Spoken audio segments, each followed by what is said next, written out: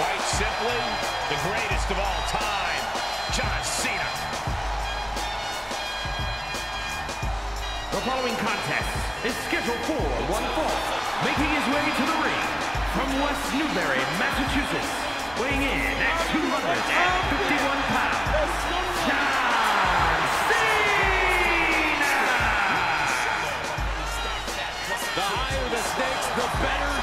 Cena gets. Hey, some would say John Cena has nothing left to prove, but he still keeps fighting. And we are about to see yet another fight from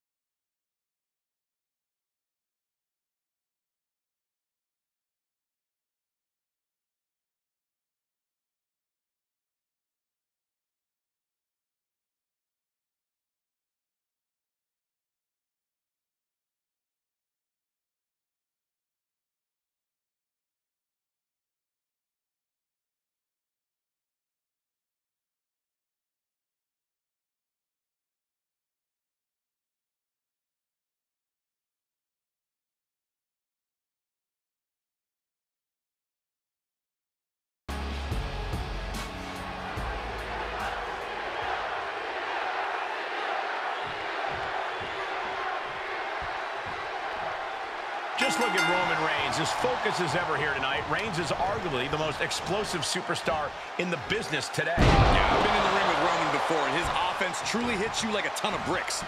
And that was early in his career. So just imagine how it must feel now. Safe to say that Reigns redefines the term hard-hitting every time that bell rings. And then we have a man who needs no introduction, John Cena. A true one-of-a-kind success story. Cena has achieved greatness everywhere he goes.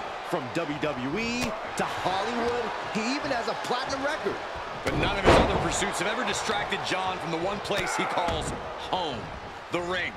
Whenever he steps through those ropes, Cena looks like he never even took a day off. It just goes to show how much Cena truly loves competing for the WWE Universe. Right to the kidneys from behind. Shoulder tackle.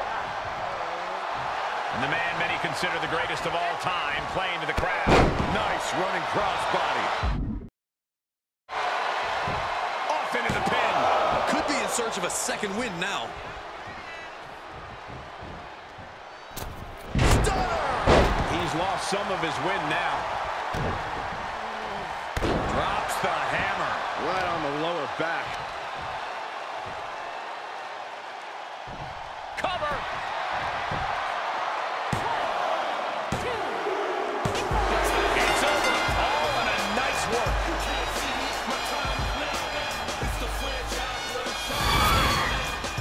Here is your winner, John Cena! This match was the litmus test. It was the proving ground, and tonight John Cena proved he's the most powerful force in WWE. We have never seen anything like this before. John Cena with a huge victory here tonight.